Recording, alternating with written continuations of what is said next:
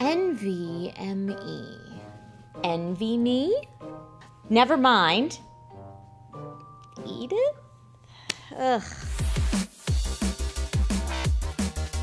Hello, everyone, and welcome to DIY in 5, the show where we break down tech and make it simple for the everyday user. I'm Trisha Hershberger, and today we are discussing NVMe, an exciting and still relatively new to most technology that's changing what's possible with PCs a few hundred megabytes per second at a time. Now, if this kind of stuff gets your read-write speeds to soar, then make sure to subscribe and check out our other videos. So, you may have heard the term NVMe thrown around in conversations about memory, but what exactly is it? NVMe, or Non Volatile Memory Express, is a super fast way to access non volatile memory.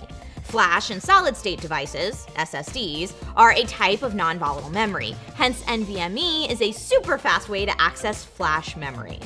When SSDs first arrived on the scene, they used SATA and or SAS protocols to be more in line with the existing hard drives everyone was used to. To keep up with SSD speed, performance, and to be closer to the CPU, PCI Express, or PCIe, was the next logical interface for flash memory. But early PCIe SSDs lacked industry standards and added features. This is where NVMe comes in, specifically built for non-volatile memory, packed with features and highly scalable. It's a transfer protocol, not a form factor like M.2 or an interface like SATA or PCIe. But because it's the standardized interface for PCIe SSDs, you can see where people might get confused.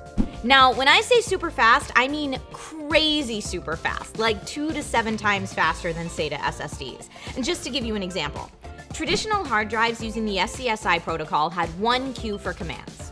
Okay? NVMe is designed to have up to 64,000 queues, each capable of 64,000 commands at the same time. Like, this is some real Neo in the Matrix-esque processing. Now, this kind of speed used to cost a fortune, but drives are getting cheaper. And I happen to know this because this is Kingston, and the A1000 NVMe PCIe SSD is priced nearly the same per gigabyte as a SATA drive would be. Hooray for tech progress! Now, it can't be all sunshine and puppy dog farts, though. As far as this tech has come, NVMe is still not as widely supported as you might think.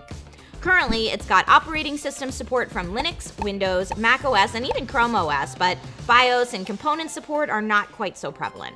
If you have an older system you're looking to upgrade, it may not work at all. And if you do decide to go there, it'll probably require some amount of tech know-how to set up. Ah, the exciting prospect of seeing flash memory reach its full potential. I love progress. If you've got additional questions this video didn't answer, please leave them in the comments below. And if this video gave you a solid helping of tech knowledge, then feel free to hit that thumbs up as well. Alright, that's it for this week. Take care, and I'll see you next time with more DIY in 5.